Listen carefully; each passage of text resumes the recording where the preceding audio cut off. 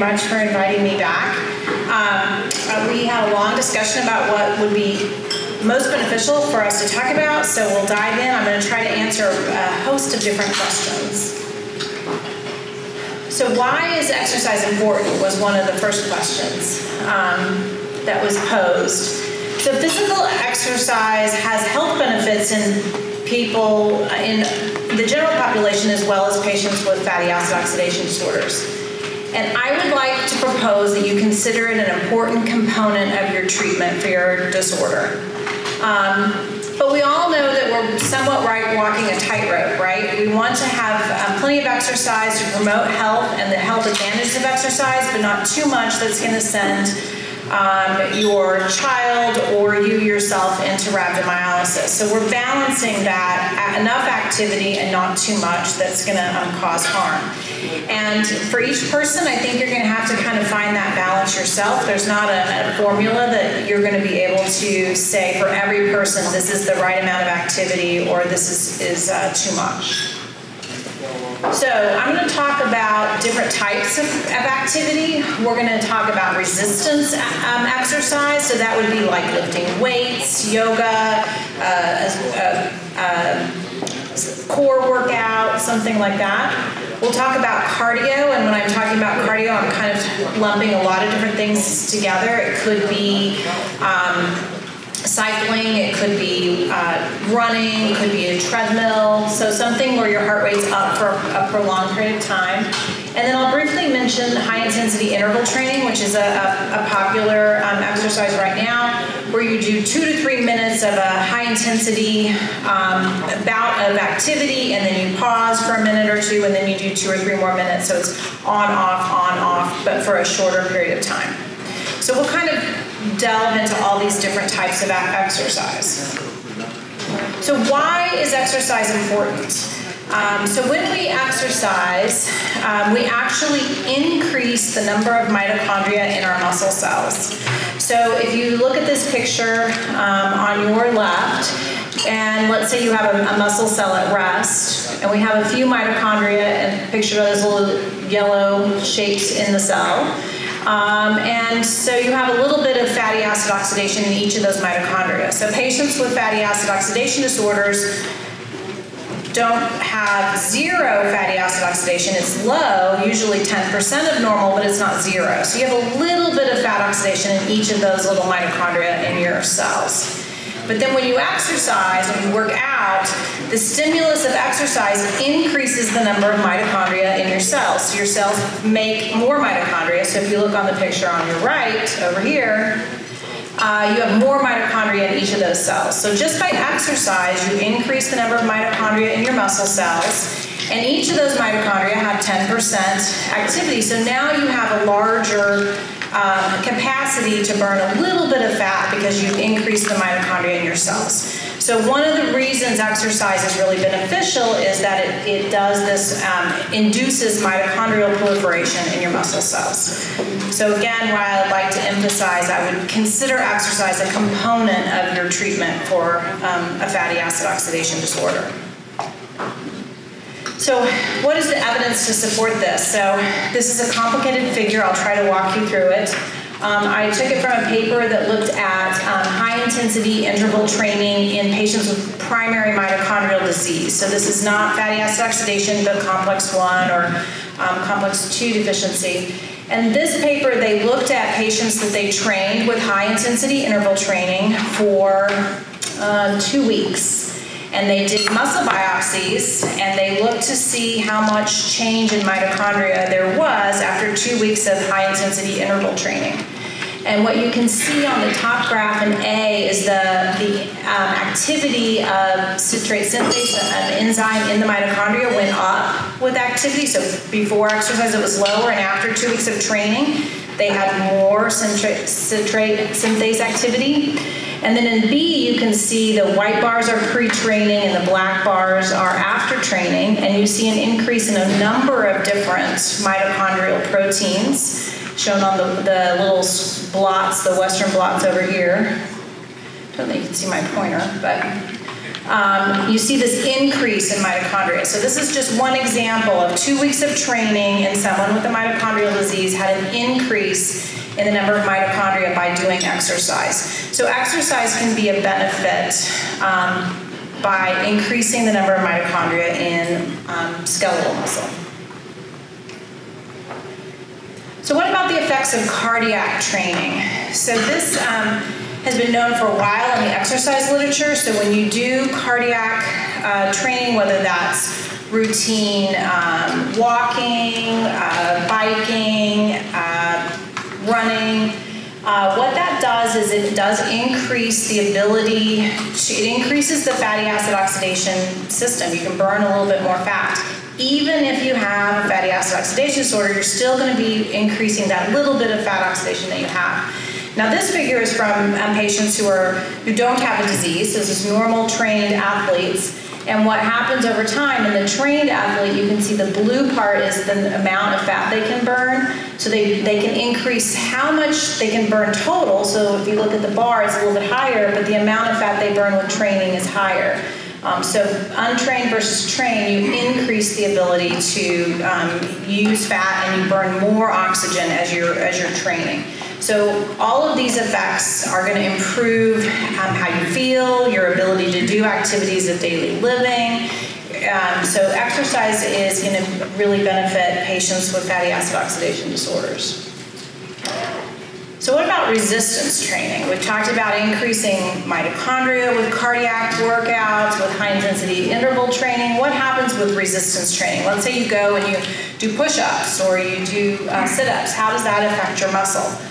Um, well, this uh, figure is to show that um, before training, your muscles store carbohydrate in the form of glycogen in your muscles. Um, and the muscle fibers after resistance training increase their glycogen stores. So you store more carbohydrate after you've started um, doing resistance exercise and you have more protein synthesis. So the muscle fibers get a little bit bigger and they store more carbohydrates. So both of those things are going to help you do exercise better. So as you're doing resistance training, you're increasing your carbohydrate stores and you're causing an increase in protein synthesis in that muscle. So this is an example from another um, paper, again in primary mitochondrial disease. This is a, a, really interesting study. It's from a little while ago, 2009. Um, but Dr. Jepson is a very well-known exercise scientist.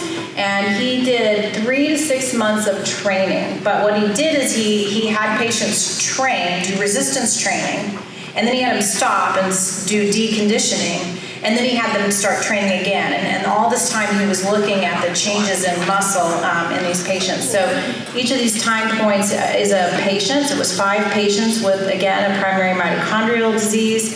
And the first point on the graph is pre-training. And so you see all the lines go up. So they have an increase in, in glycogen. They have an increase in mitochondria after three months of training. And then they didn't do any training, and you see it drop again with deconditioning and they start training again, and then they, he measured again at three months, and you see the lines going up, and then at 12 months, the lines going up even further.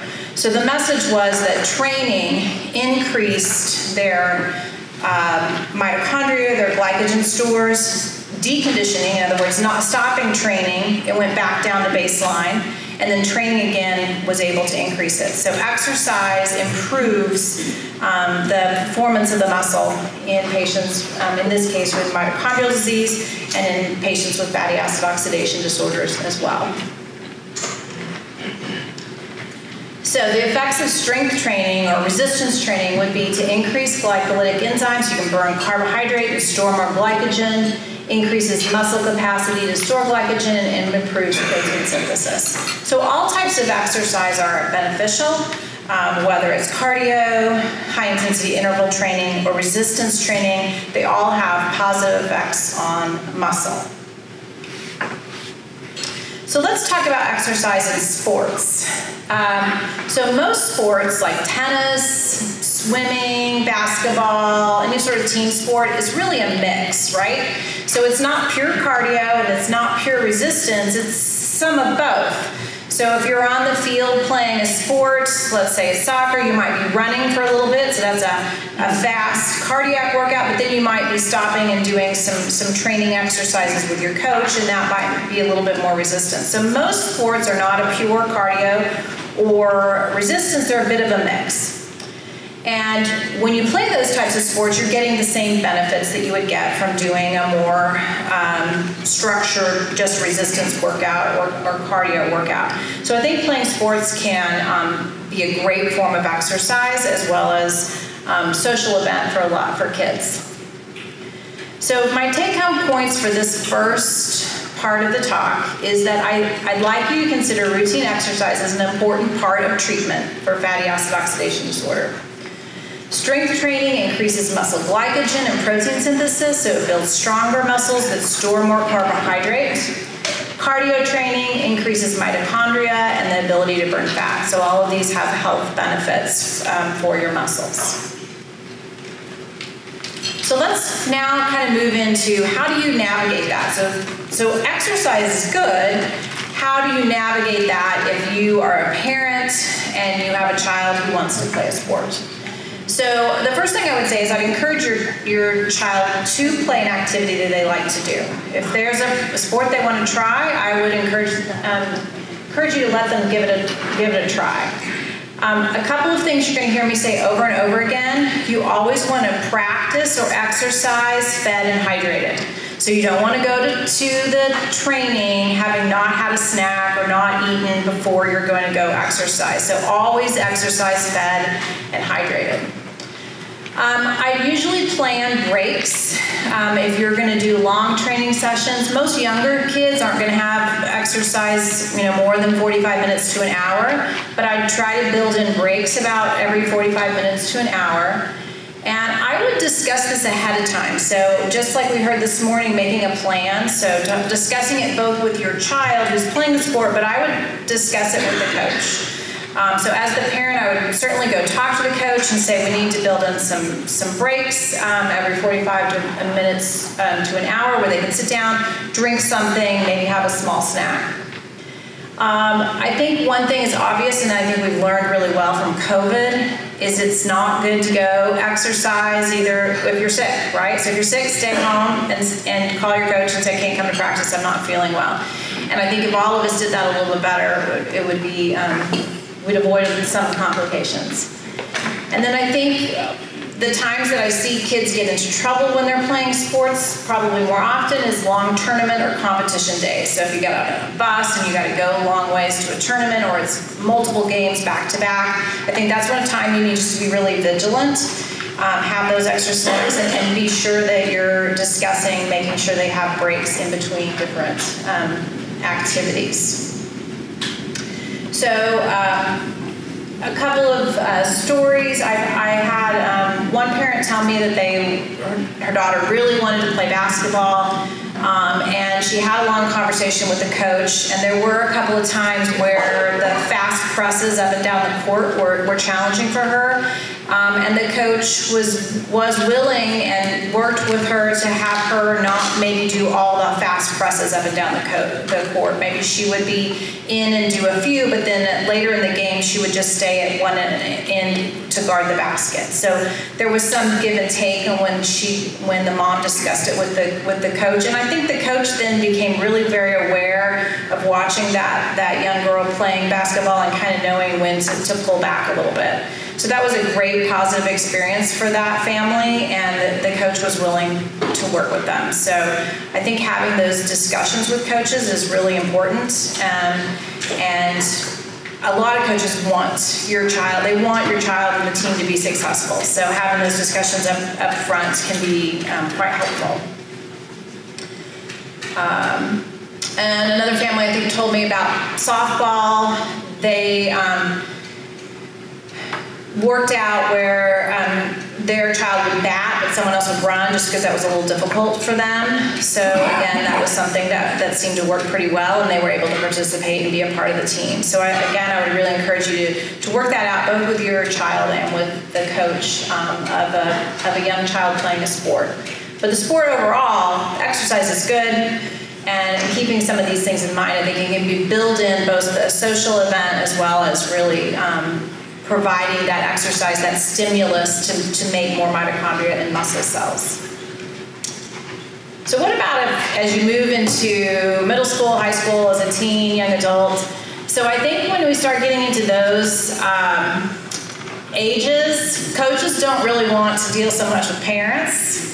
And so I think the teen and the and the, the patient is really going to have to be their own advocate and go talk to coaches, and that can be that can be challenging and difficult for a high schooler or a middle schooler. But I know uh, when my kids are playing sports, they, the parents were told, you know, we don't want to talk to you. you. Your your child has to be the one that's coming to us. So I think that encouraging your teenager um, to talk to coaches, to tell them what's um, going on, and to try to come up with a plan is a great first step to being a good self advocate um, when playing sports. Again, I think sports are a great form of exercise, but having a plan in place is really critical. I'll repeat the same thing. You always want to go to training or to competition fed and well hydrated have a plan in place, such as snacks and, and drinks for um, breaks in the tournament or breaks in the game. Um, and I think the biggest thing that uh, we talked a lot about in the teen room is listening to your body. And if you know you've done too much, stop. Tell the coach you've got to you got to come out and and uh, listen to what you're feeling. So don't continue to push if you know that it's it's been a little bit too much. Um, I think at this age, when you start getting into high school sports, this is a great time to start monitoring your heart rate. So one way to determine how hard you're exercising is to watch your heart rate. And we're going to go through that exercise in just a minute to try to figure out what's a good target heart rate. Um, and I think you can start doing that as a, as a teenager, and it'd be a great um, skill to take on into adulthood to be able to, to monitor um, heart rate during exercise. So what about exercise as an adult? Uh, after we get into professional life, I know all of us struggle for fitting in exercise into our regular routine life, but I think as an adult with a fatty acid oxidation disorder, making time to exercise is really important. And again, consider it part of your treatment of your um, disorder. For adults, I would recommend alternating either cardio or high intensity interval training with some resistance training. So you might do cardio a couple days a week and resistance training a couple days a week and alternating those. And I would certainly recommend monitoring your heart rate while you're doing those activities. Um, I would try to find something you like you enjoy doing. All of us do exercise more often and regularly if it's something we like. So if you can find that one exercise that you really enjoy as an adult, I think you're much more likely to stick with it. So those would be my tips for exercise um, in adults. So are some exercises better than others? This was one of the questions that was posed. Um, all I think I've hopefully driven home the point that all exercise has benefits. Whether it's cardio, whether it's resistance training, there are benefits to skeletal muscle. I think the biggest thing is to find an exercise that is sustainable. So one that you can enjoy doing and continue doing on a regular basis. Uh, the study I showed about the deconditioning, so stopping exercise, we have a loss of those mitochondria and muscle cells. They really um, decline with deconditioning. So my recommendation is finding that thing that you can do that's sustainable, that you enjoy doing. And then mixing um, cardio and resistance training. So having a variety of different exercises uses different muscle groups and it has different um, benefits. So I would um, encourage different types of, of exercise.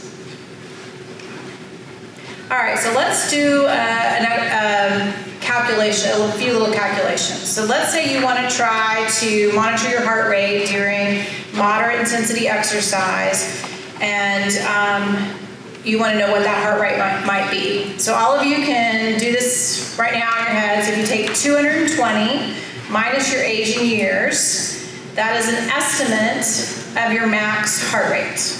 Okay, that's the estimate of your max heart rate.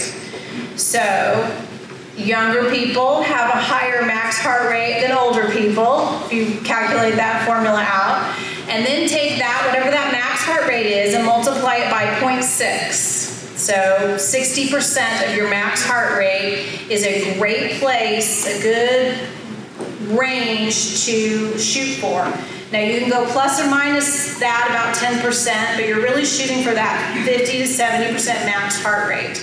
So 220 minus your age in years is your max heart rate, times 0.6, that's your your target range you're, hunt, you're hunting for, and you want to do uh, an exercise that, that's maintaining your heart rate around that 60% uh, max for about 45 minutes to an hour before you take a break. That would be a, a, a moderate intensity exercise if, you, if you're able to do that. Now, I know there are people in the audience and people probably watching online where 45 minutes to an hour is way too long. That would be really pushing you to a point where you're hurting a little bit too much. So I would encourage you to start slow.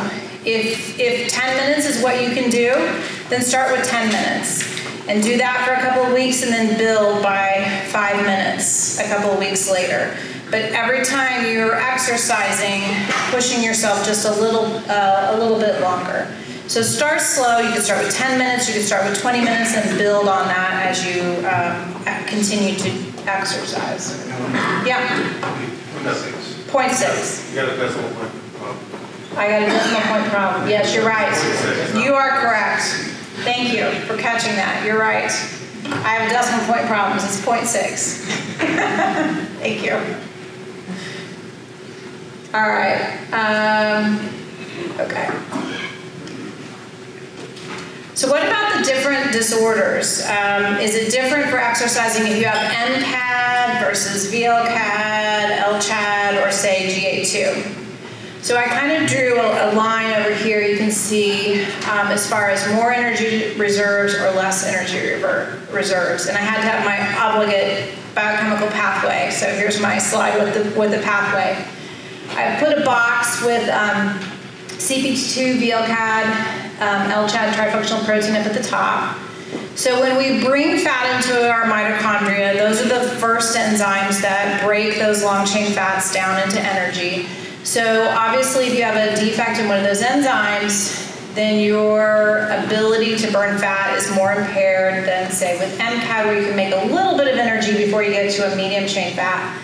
So I think of um, MCAD having a little bit more reserves, a little bit more energy reserves, um, CPT2, VLCAD, LCHAD, and TFP, a little less, but everything feeds in ultimately into the respiratory chain over here in the ETF protein where I've illustrated GA2. So everything is sort of impacted with GA2. So they have probably lower um, energy reserves. So you may need to start off a little slower with exercise if you're um, with, say, GA2 or trifunctional protein, if you have a little bit more deconditioning, go a little slower, build a little slower. Exercise still has benefits, but it might be slightly different for every patient, and it might be slightly different depending on uh, your disorder. So my take-home points for this particular section is that to try to find the routine exercise that your child really enjoys, wants to do, uh, or the one that you like to do and is sustainable that you can continue to exercise. Always, always exercise fed and hydrated. So make sure you're not going to practice or to a game rushing and you're missing those snacks or water that you might need. Uh, I'd schedule regular breaks, and I think it's important to have discussions with coaches about that. Uh, listen to your body. I think you know better than um, anyone else if you feel like you've done too much and you need to stop, or um, that you know, the game's going a little long and you need to come out. That's hard to do. I know as an athlete you want to compete for your team, but I would really encourage you to just stop and really listen to your body. And do not exercise if you feel ill or sick in any way. So, really being careful about um, not exercising when you don't feel well. So, now we'll go into nutrition before, after, during exercise. Which is a little bit more my wheelhouse, so we'll, we'll dive into that a little bit. So I found these interesting um, handouts. These are from Dairy Council, and I think they, they drive home the point um, pretty well. So three to four hours before exercise, especially if this is kids and they're exercising after school or in the evenings, um, you want to think about planning a, a, high carbohydrate with some protein type of meal. So some suggestions would be, you know, turkey sandwich with apple, low-fat chocolate milk. I crossed out the peanut butter, just peanut butter tends to be a little bit too high in fat. Banana slices, low-fat milk, Greek yogurt, berries, a lot of stuff we've had. Fruit is excellent. We've had a bunch of that today. Um, and then drinking lots of fluids say 20, 30 minutes before exercise, you might have like Gatorade or some sort of sports drinks, fruit, again, fruit snacks, a small granola bar. We talked a little bit about that in the teen room. There were some great suggestions for different types of low-fat granola bars. So this is a handout from UT Southwestern for their fatty acid oxidation um, patients, and they have a list of, of low-fat granola bars here. So um, having granola bars and yogurt your, or uh, Gatorade in your backpack if you're going to sports is a great way to have snacks on hand.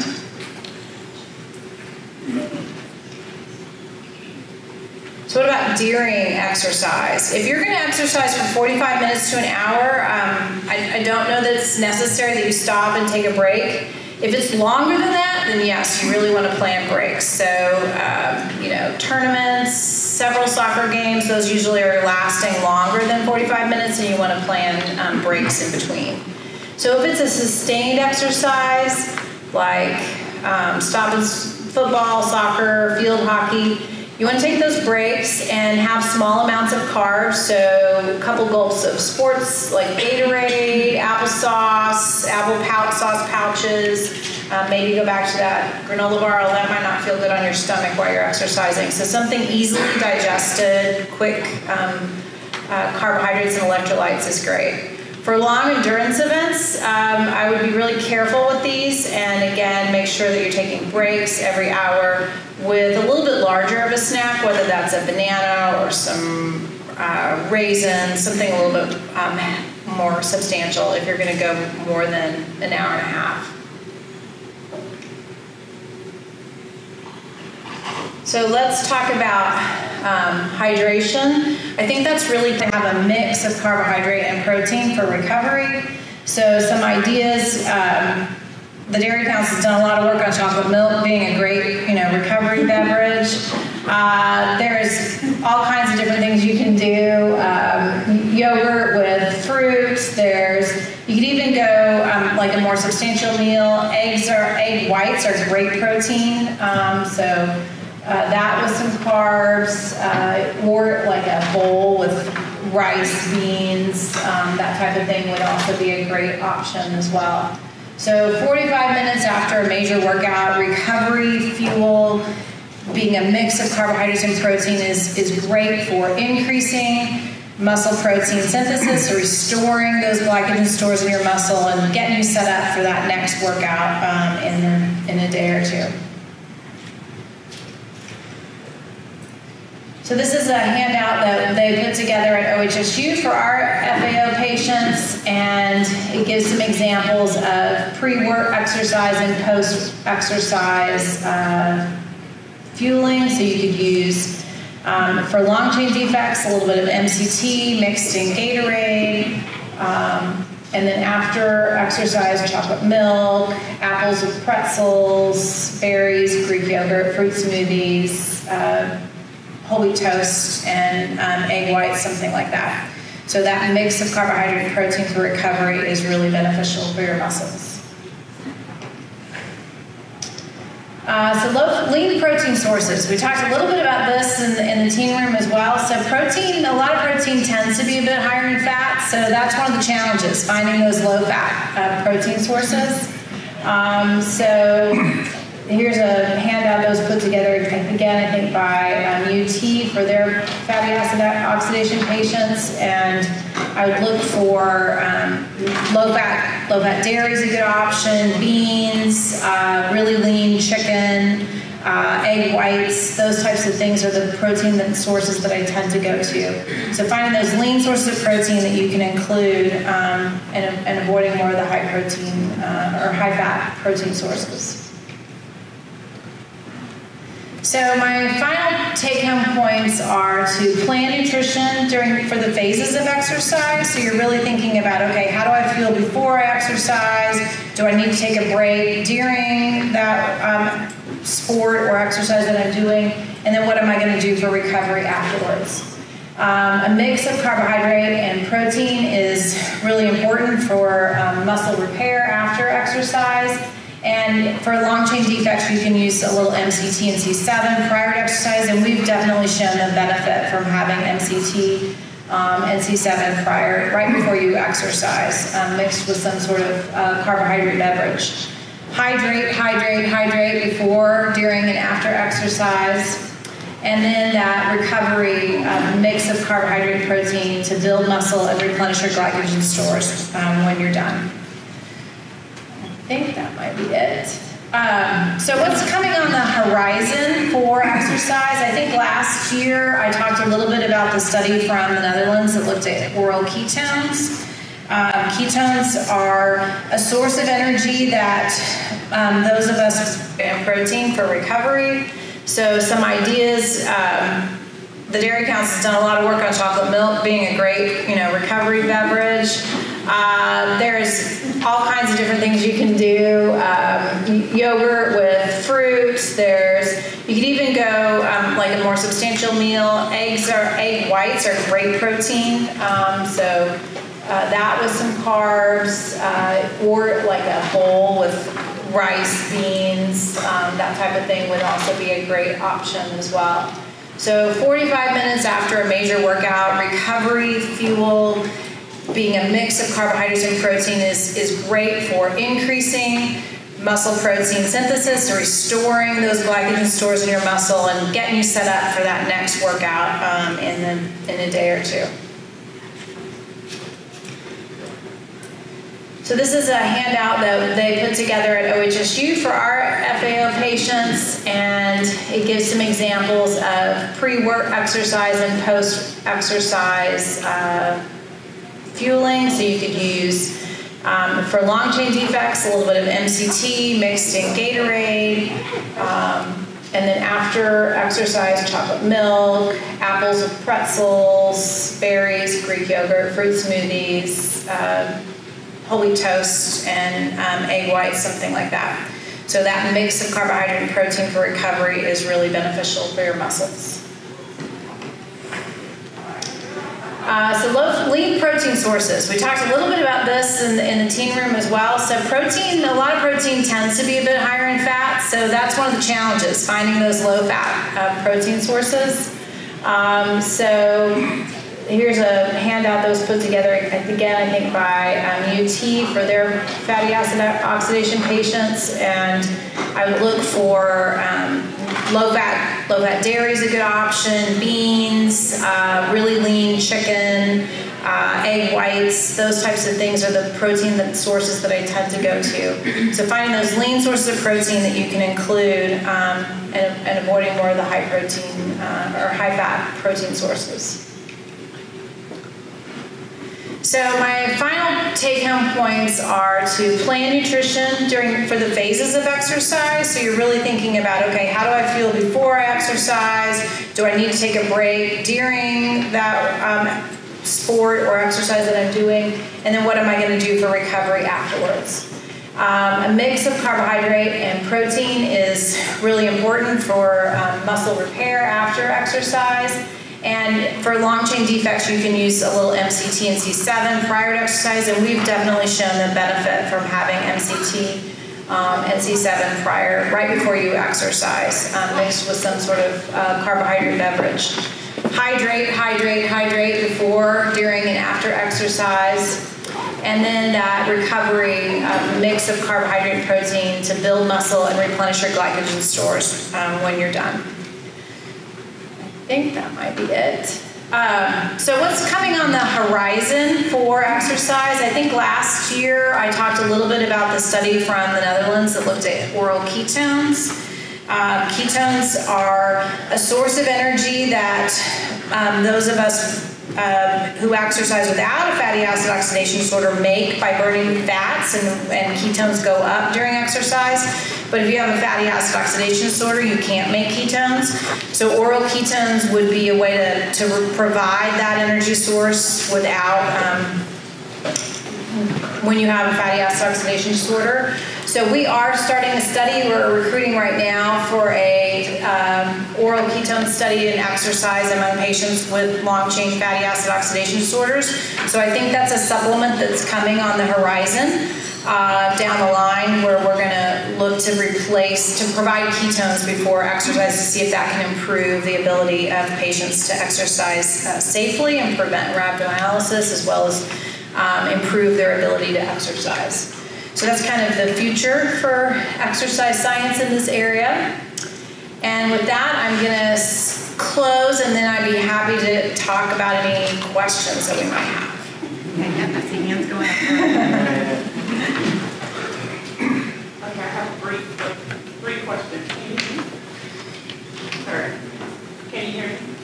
No. Well, it's, yes, I can hear you. There you go. Okay. Um, wait, please. Push, push the bottom, I the bottom. Yes, turned off. Hello? Okay. Down five seconds. What? Push, push the bottom of it for, hold it for five Oh, seconds. on. Okay, okay, thank you. Okay, a couple of quick questions, I hope. You talked about the balance for each person to know how much they can tolerate. When you're starting out and you're trying to find that balance, how do you differentiate between this is just normal kind of wear and tear because I'm exercising and doing something different versus this is rhabdo and I need to chill out without like checking for CK or urine? Is there a way to know as you're trying to find that balance? So I asked that question just in the team room just this morning. How do oh. you Oh. know when it's muscle soreness versus rhabdo? And the response was, you know. So I think I, I, I don't know I don't know the answer. I've never had rhabdo myself. So I think that's a, it's a difficult balance. How do you decide when it's just muscle soreness versus rhabdo? Um, for those of you that have had it, um, maybe you can help um, this mom out because I don't know. It's it's hard to tell. But uh, so I don't have a, I don't have a good way to, to answer that question. Yeah, okay. Okay, second question. For younger kids, Canaan six, when does recess stop being enough for like exercise, right? Because that's like, that's how he's getting it. And he's not in the gym in the treadmill, you know?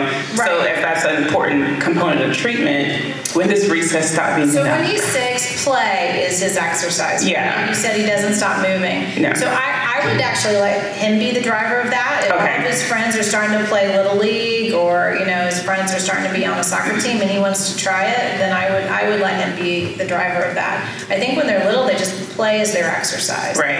Playing at recess, they're running around the playground.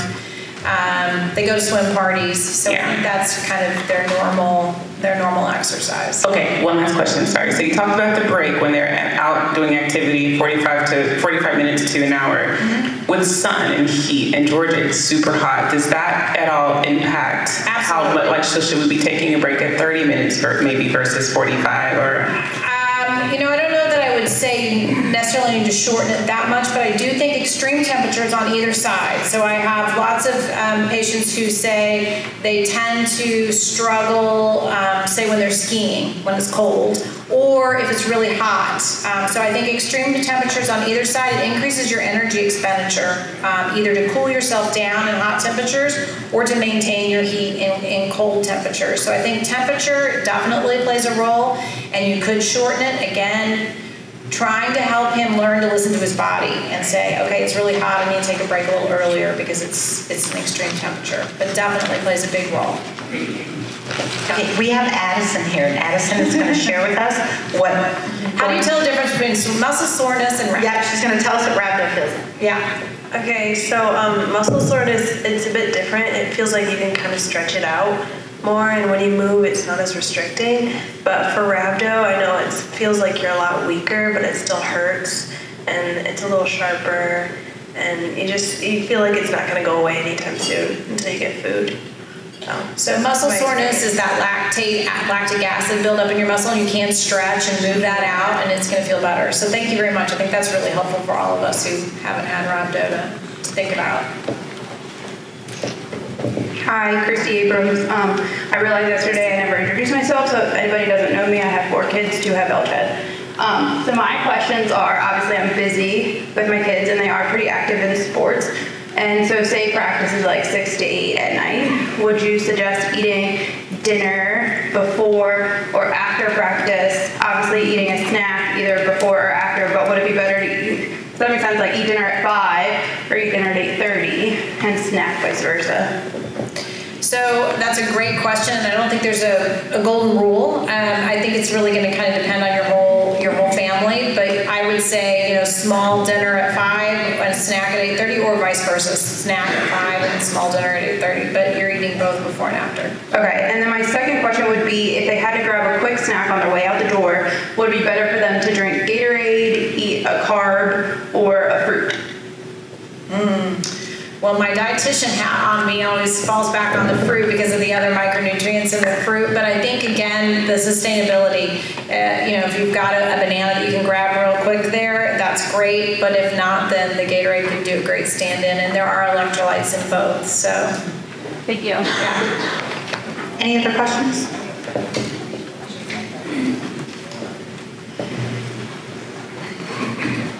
Hi, um, I don't, this might not be a question, but have you found, have there been any studies about time of day of exercise? Because I found with my kids, if they have gym class early in the morning at school, they do better than if it's at- towards the end of the day, even if it's right after lunch.